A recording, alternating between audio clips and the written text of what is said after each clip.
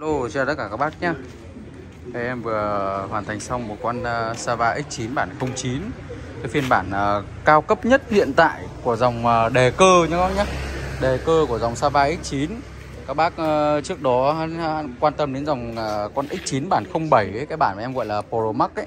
Thì bây giờ các bác quên cái bản ấy đi. Các bác hãy, hãy, hãy, hãy làm quen cái bản này giúp em. Thì vì các bác chỉ có thêm có một triệu nữa thôi mà các bác dùng được full hết bộ uh, Shimano M7001 rồi. Nó là một cái cái, cái không tưởng các bác ạ. Đó cực kỳ là ngon. Thì bây giờ là cái mẫu này nó về thì nó về full thêm thêm ba màu nữa tổng là 7 màu tất cả.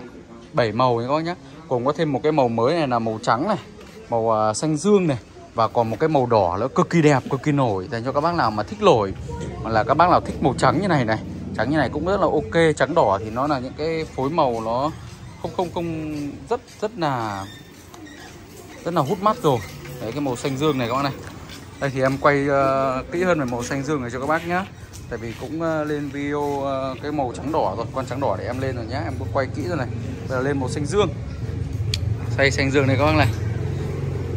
Uh, theo như hãng người ta ghi thì con này là màu xanh lam. Đó đây cái màu em đã quay kỹ nhất cái màu này cho các bác xem. Để cái màu nó như thế này các bác nhé. Đó. Đấy. Một chiếc xe mà bây giờ hãng người ta đang trợ giá uh, nó dùng uh, full Shimano M7001 dùng thắng dầu M7120 tay lắc uh, thắng dầu là 7170 này tay lắc 7120 này. Đó.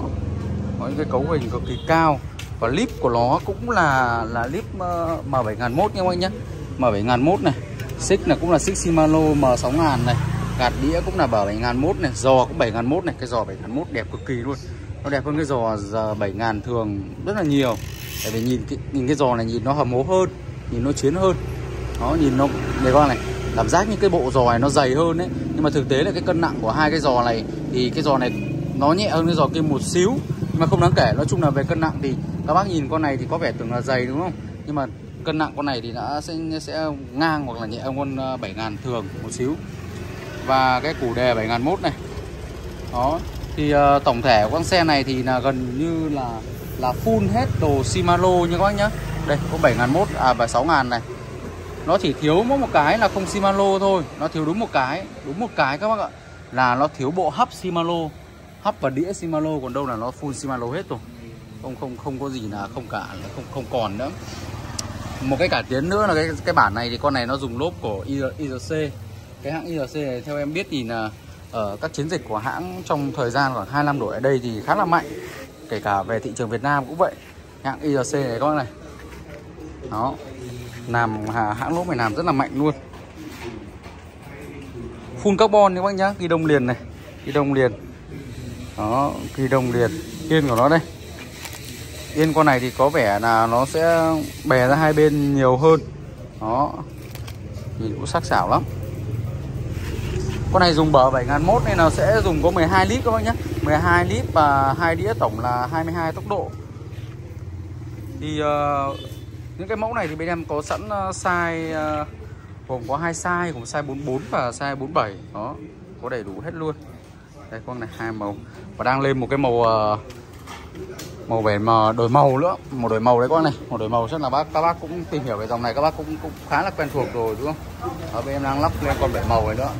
Đây, con uh, màu này. Đó. Nó lắp lên thêm một con này nữa. Và nó còn thêm một cái màu đỏ nữa cơ. Màu đỏ lạ mắt lắm. Thì em sẽ tí nữa cũng lên nốt cái màu đỏ cho các bác theo dõi luôn. Đó.